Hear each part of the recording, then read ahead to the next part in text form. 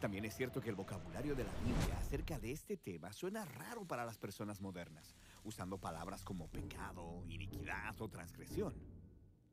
Así que la perspectiva bíblica sobre la condición humana frecuentemente es ignorada o es tratada como antigua y retrógrada.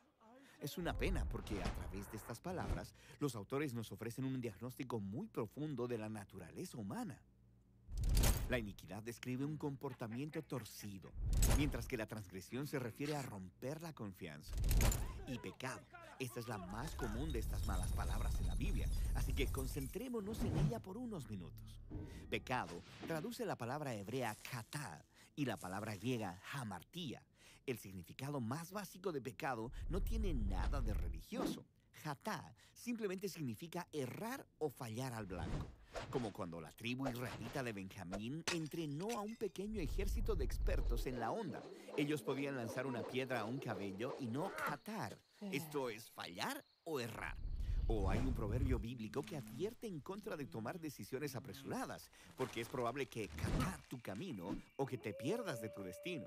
Así que en la Biblia, el pecado es fallar en alcanzar una meta. Pero, ¿cuál es la meta? En la primera página de la Biblia aprendemos que cada humano es imagen de Dios, un ser sagrado que representa al Creador y que es digno de respeto. Así que en esta manera de ver el mundo, el pecado es fallar en amar a Dios y a los demás, al no tratarlos con el honor que merecen. Puedes ver esta idea en el famoso código de conducta que se le da a los israelitas, los diez mandamientos. De ellos identifican las maneras en las que puedes fallar en amar a Dios y la otra mitad enumera las maneras en las que puedes fallar en amar a las personas.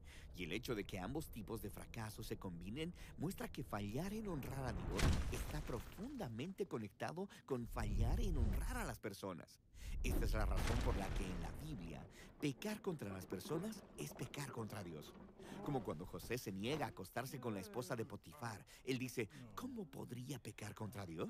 En la mente de José, fallar en honrar a un ser humano hecho la imagen de Dios es fallar en amar a Dios. Así que el pecado es fallar en ser un humano verdadero. Pero hay más. Algo fascinante acerca del pecado en la Biblia es que la mayoría del tiempo en que las personas están fallando, o no lo saben, o peor todavía, piensan que lo están haciendo bien, como cuando Faraón quiere fortalecer la economía de Egipto y proteger su seguridad nacional. En su mente, esto justifica el esclavizar a los israelitas. Él piensa que es algo bueno y está totalmente inconsciente de que es un total fracaso.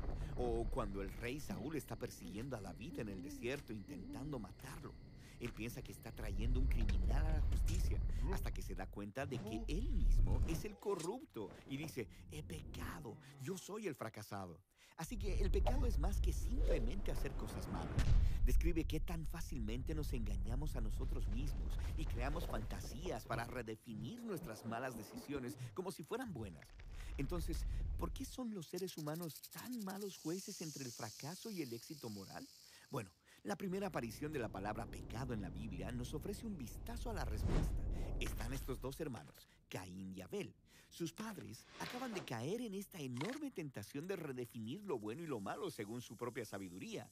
Y ahora Caín se enfrenta a una decisión similar. Está celoso y enojado de que Dios ha favorecido a su hermano. Así que Dios le advierte, si no eliges lo bueno, Catá está a la puerta. Te desea pero puedes dominarlo. Así que en esas historias el pecado o el fracaso moral se ilustra como un animal salvaje y hambriento que quiere consumir a los humanos. Y sabemos cómo termina esa historia. La Biblia intenta decirnos que el comportamiento humano fallido, nuestra tendencia a engañarnos a nosotros mismos, llega hasta lo profundo. Está anclada en nuestros deseos e impulsos egoístas que nos obligan a actuar en nuestro propio beneficio a costa de otros. Y esto lleva a una reacción en cadena de relaciones rotas.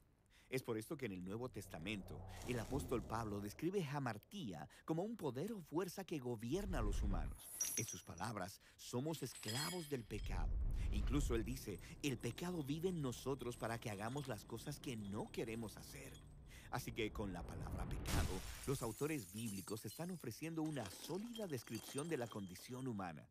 Es fracasar en ser humanos que aman completamente a Dios y a los demás. Es nuestra incapacidad para juzgar si estamos teniendo éxito o fallando. Y es ese impulso profundo y egoísta que motiva a muchos de nuestros comportamientos. No es una imagen bonita de nosotros mismos, pero si somos honestos, es realista. Esa es la razón por la que en la Biblia la historia de Jesús es una buena noticia. Él es descrito como el creador de todo, convirtiéndose en un verdadero humano, uno que no falló en amar a Dios y a los demás. O sea, Él no pecó. Y sin embargo, tomó responsabilidad por la historia de fracaso de la humanidad para otros y murió por sus pecados y fue resucitado de los muertos para ofrecerles su vida como regalo que cubre todos sus fracasos. En las palabras de los apóstoles, Él no cometió pecado y aún así en la cruz llevó nuestros pecados en su cuerpo para que así muramos a nuestros pecados y vivamos para hacer lo que es correcto. Y esa es la historia detrás de la palabra bíblica para pecado.